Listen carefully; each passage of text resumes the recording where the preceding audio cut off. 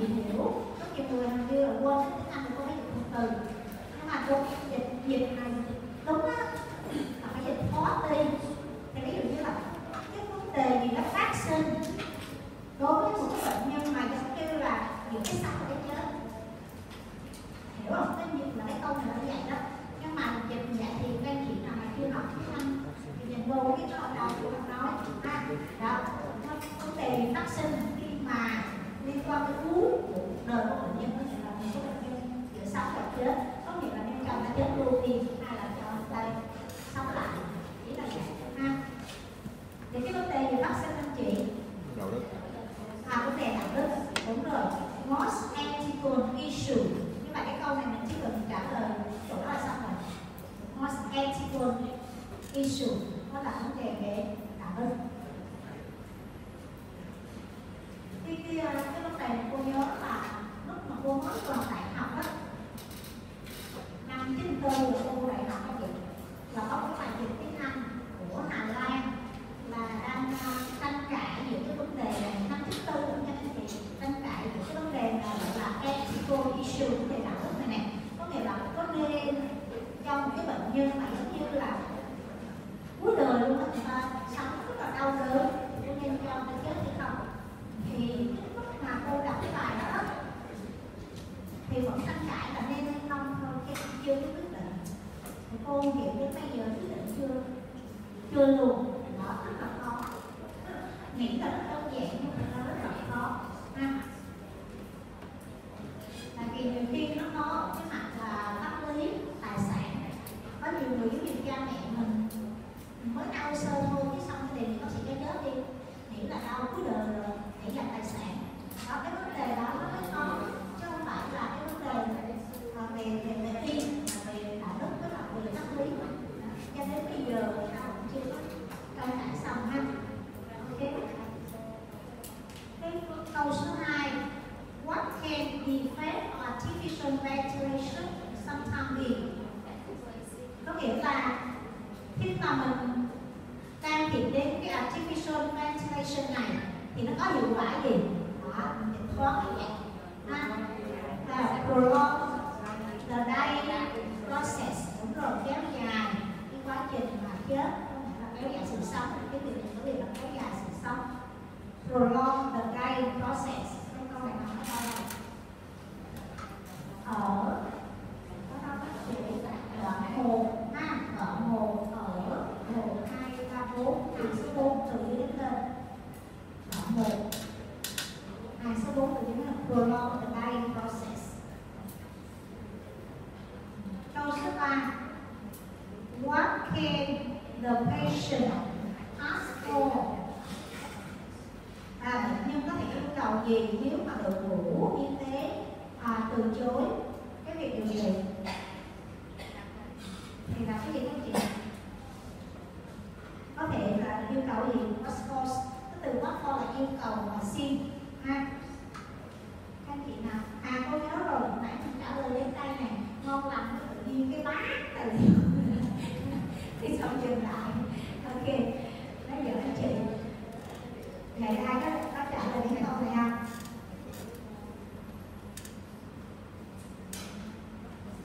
số ba bệnh nhân có thể yêu cầu cái gì xin cái gì nếu như mà cái đội ngũ y tế là deny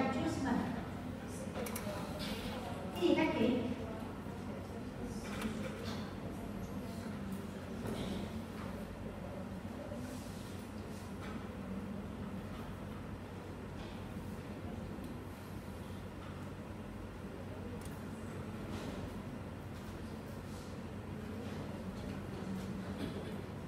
chị đọc cái hàng à, cái đoạn số 2 ở những cái hàng cuối ha.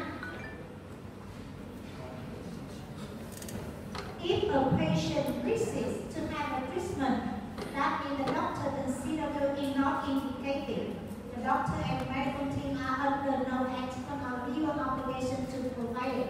But, đó, trong cái phần đó đó, but the patient right to a second opinion must be respected. Quyền chữ right đó là chữ quyền ha, quyền của bệnh nhân đối với là second opinion là cái ý kiến thứ hai nên được tôn trọng các bạn có quyền là a second opinion. A second opinion.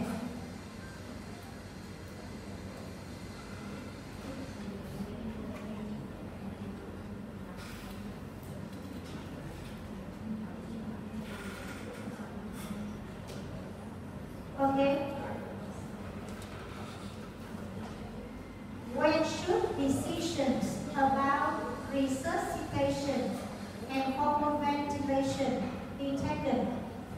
When? When? Các chị phải đi tìm when nha. Khi nào? Đó. When? Học thì tìm đi when cô Câu số 5 là cái cái gì mà nó không có improve được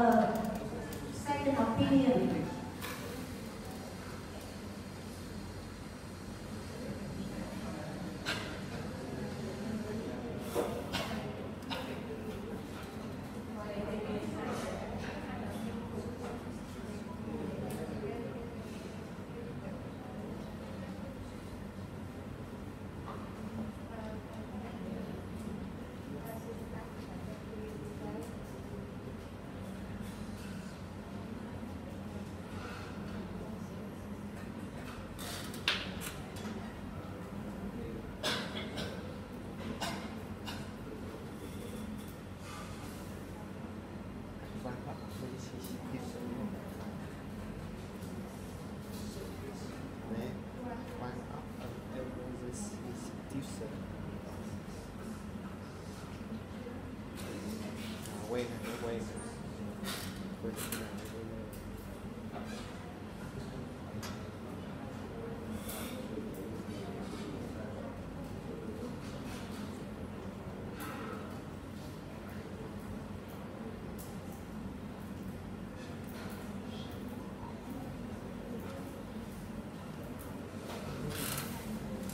Wait,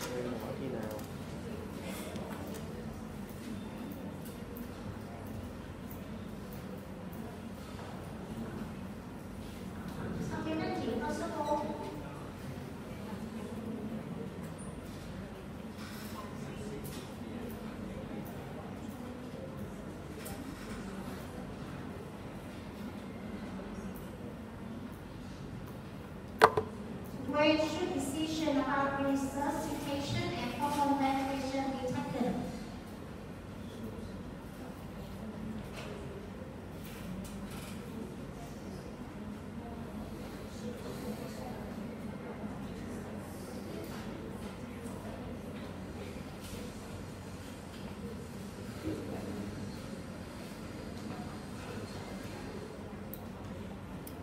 Các chị The decision about resuscitation Đúng and hormone ventilation. Các chị thấy cái đó? Okay. The decision about resuscitation and hormone ventilation is not an easy one. Cái quyết định về cái việc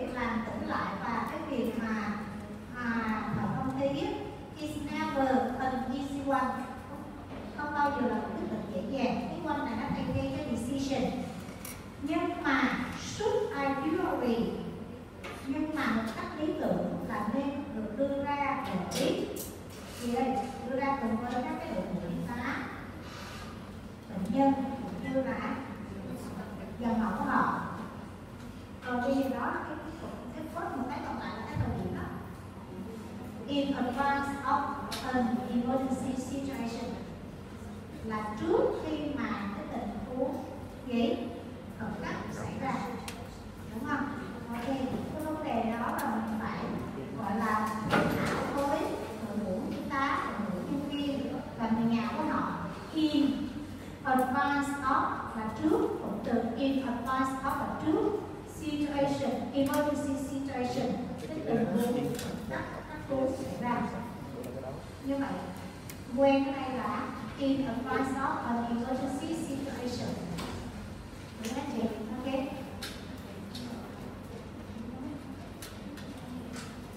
Câu số 5. What do not improve respiratory